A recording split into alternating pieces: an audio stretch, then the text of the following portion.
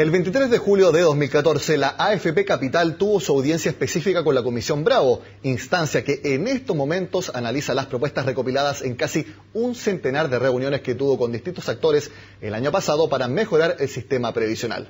Cambiar a una modalidad de cobro de comisión por saldo y recursos de libre disposición para los afiliados son algunas de las ideas de la administradora que queremos analizar junto a su gerente general, Eduardo Vildósola. Eduardo, muchas gracias por estar en Agenda Económica. Muchas gracias, Nicolás. A ver, fueron 23 páginas la presentación que ustedes tuvieron ante la Comisión Bravo en julio del año pasado y dentro de las muchas ideas que tienen, a mí me parecieron algunas bastante interesantes y que me gustaría profundizar en ellas para que también las conozcan las personas que están viendo esta entrevista. Por ejemplo, lo que mencionábamos en la introducción, que se cambie a una modalidad donde el cobro de la comisión dependa en definitiva del resultado, la rentabilidad que tuvieron eh, los fondos eh, durante un año. Esa es básicamente una de las ideas que ustedes tienen. Así es, Nicolás.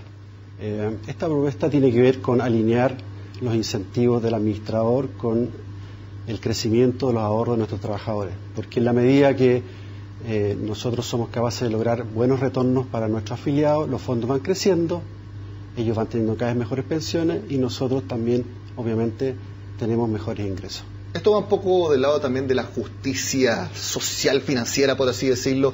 Si la AFP hace bien su trabajo, hace buenas inversiones, tiene buena rentabilidad, ok, yo como afiliado lo premio pagando una comisión mayor, pero si los resultados no son tan buenos, también es justo que me cobren menos. Efectivamente, hay una relación mucho más directa entre los resultados de los ahorros previsionales de nuestros trabajadores y los resultados financieros de la administradora. Pero además esto es una práctica que existe en, en, todas partes del mundo. La inmensa mayoría de los administradores de ahorros previsionales y no previsionales cobran sobre el saldo los ahorros. En ese sentido, nos estamos alineando las mejores prácticas. Y además, muestra con mayor transparencia cuáles son los cobros que efectivamente está haciendo la, administradora de fondos de pensiones. Esto quiere decir, por ejemplo, si la AFP tiene resultados negativos, cae la rentabilidad de los fondos en un año particular, ¿no se le va a pagar comisión debido a que la rentabilidad es negativa o no están así?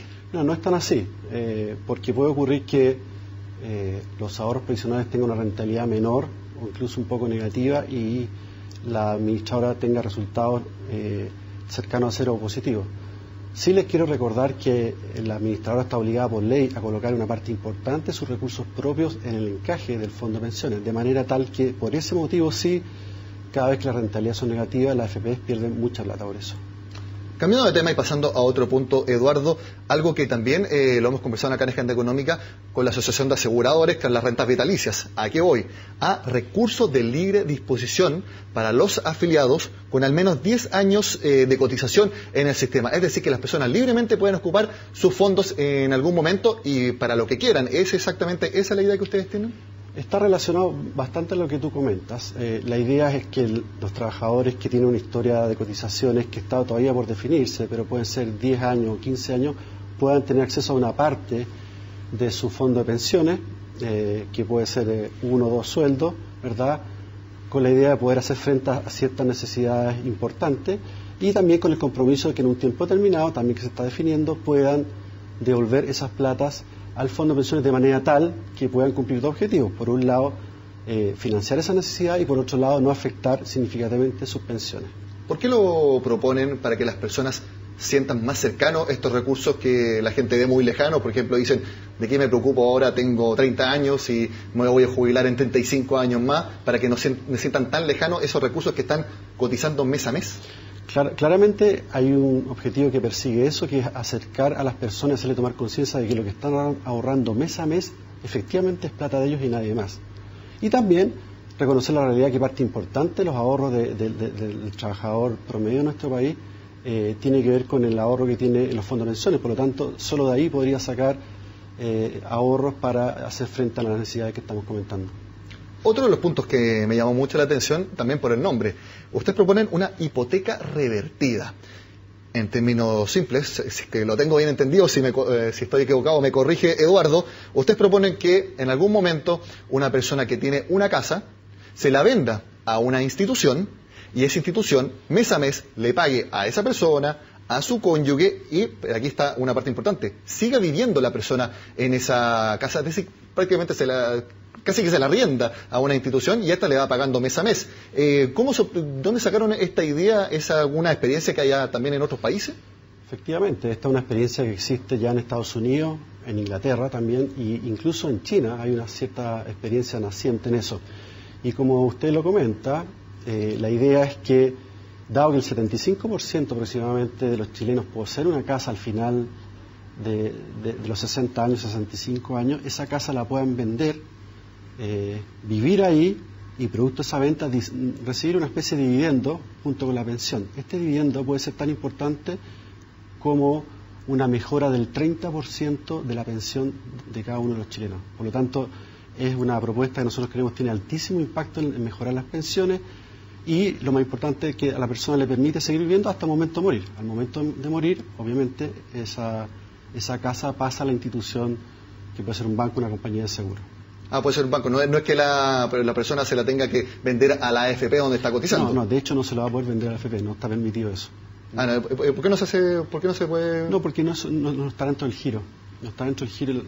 Las AFP están exclusivamente para administrar ahorros previsionales, no para ser administrador de, de bienes raíces en este caso, ¿no? son, que son casas. Dentro de las otras propuestas también que ustedes tienen, Eduardo, está fortalecer el pilar básico solidario. Eso parece que es algo transversal dentro de las propuestas de la administradora. Sí, nosotros claramente estamos por fortalecer el pilar solidario, entendiendo que su origen está relacionado con una alta tasa de informalidad del mercado laboral. Cuando se inició el sistema de pensiones en el año 1980, la tasa de formalidad era cerca del 40%. Entonces, cuando uno ve hoy día las pensiones, ¿verdad?, que son bajas, tienen mucho que ver con mucha gente que se está pensionando que tuvo muchas lagunas previsionales, o sea, no cotizó durante mucho tiempo. Entonces, esa gente definitivamente no va a poder tener más pensiones porque ya pasó el tiempo. Tuvieron los primeros 10 años sin cotizar y los primeros 10 años se forma el 40% de la pensión. Entonces, el pilar solidario se viene a hacer cargo de esa realidad, que es la necesidad que esa gente, que el 60% más pobre, necesita una ayuda del Estado para complementar su pensión. Eduardo, ¿cuál es su postura respecto al que podríamos decir es la pregunta del millón para esta, cuando cada vez que se habla sobre mejorar el sistema previsional, que tiene que ver con el monto de la cotización y también la edad de jubilación? ¿Ustedes están por subir ambos, como se ha dicho muchas veces en la industria? Sí, mira, yo creo que hay dos cosas muy importantes. Primero, una muy buena noticia, que es que nosotros cada vez vivimos más, las expectativas de vida van creciendo. Eso por un lado. Pero la contrapartida de eso es que tenemos que ahorrar más tenemos que ahorrar más de dos formas, teniendo una mayor tasa de cotización y o eh, ir postergando la edad de pensión paulatinamente. Esas dos cosas ya existe experiencia. La OECD muestra que en promedio los países eh, tienen una tasa de contribución más cerca del 15% que el 10%. O sea, tenemos un espacio ahí para aumentar gradualmente la tasa de cotización porque eso tiene impacto en el mercado laboral. Y por otro lado, Chile es uno de los pocos países donde las mujeres se pensionan a los 60 años y el hombre a los 65. Hay que igualar eso y además han ido subiendo la edad de pensión. Hay países ya, muchos países que están en los 67 años. Cada año que se postergue eh, la edad de pensión significa un aumento de un 7% en la pensión. Entonces son medidas de altísimo impacto en el mejoramiento de las pensiones y son muy necesarias, como digo, porque cada vez vivimos más. De hecho, ustedes también dentro de sus propuestas está que haya incentivos para que después de la edad de jubilación las personas sigan trabajando y así puedan seguir aumentando su fondo.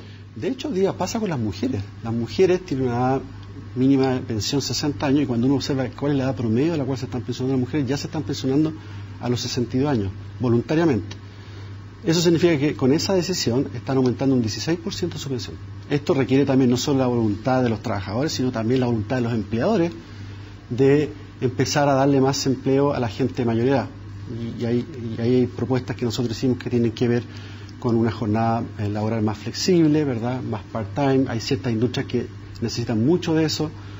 Nosotros proponemos también que no, no coticen a la salud el 7% ninguna persona con mayores de 60 años, una mujer de 65 hombres, con lo cual disminuye el costo de contratación y aumenta el sueldo líquido de esas personas. Y también que en la medida que siguen trabajando después de los 60 años no, no, no, no, no, no les, se les quite el beneficio de, participar del Pilar Solidario. Bueno, son todas propuestas, temas que seguramente la Comisión Bravo, liderada precisamente por el economista David Bravo, estará viendo, porque en agosto está comprometido, esa es la nueva fecha, antes era para marzo, ahora es para agosto, se van a entregar las propuestas entonces para mejorar el sistema previsional de nuestro país. Eduardo Vildósola, gerente general de FP Capital, muchas gracias por estar con nosotros en Agenda Económica. Muchas gracias a usted, Nicolás.